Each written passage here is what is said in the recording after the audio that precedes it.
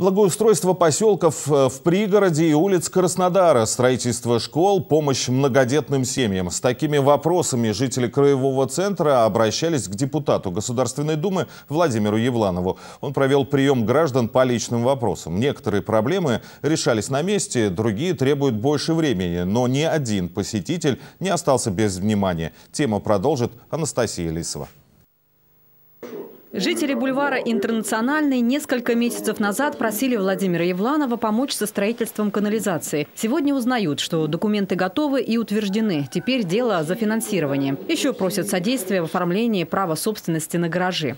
У нас один земельный участок. У нас все земля выделялась для Роснефти. А теперь мы доказываем, что это не может быть самостроем, потому что у нас договор долевого участия.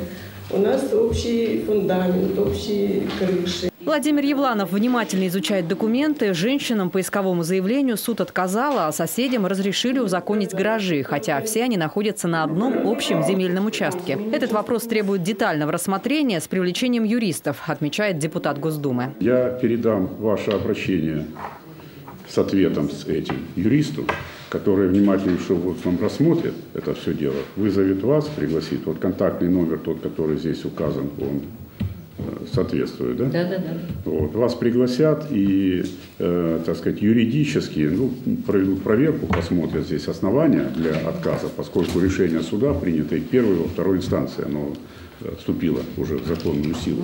Вот, для того, чтобы его изменить, э, нужны какие-то очень веские основания.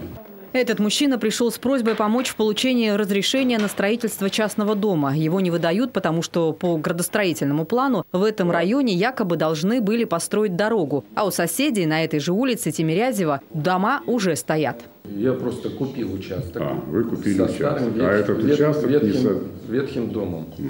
При покупке нигде не регистрировалось ни в э, едином государственном реестре, никаких отметок о том, что там будет дорога там и прочее, такого не было.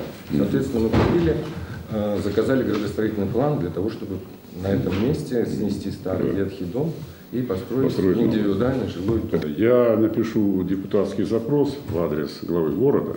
Вот, в части того, что вот, э, как бы при наличии таких обстоятельств, чтобы посмотрели внимательно. Я, например, тоже не вижу никаких проблем, связанных с тем, что если вы покупали земельный участок э, с частным домовладением, вот, и в рамках, в границах этого земельного участка э, вашей собственной земли вы построите дом, вот, не то, нарушая вообще ничего. Не нарушая ничего, да. то какие здесь могут быть вопросы? На прием к депутату Госдумы пришли 10 человек. Все вопросы Владимир Евланов взял на личный контроль. Следующий прием по личным вопросам пройдет в конце октября. Анастасия Лисова, Николай Цедрик, Наталья Пилипко, телекомпания «Краснодар».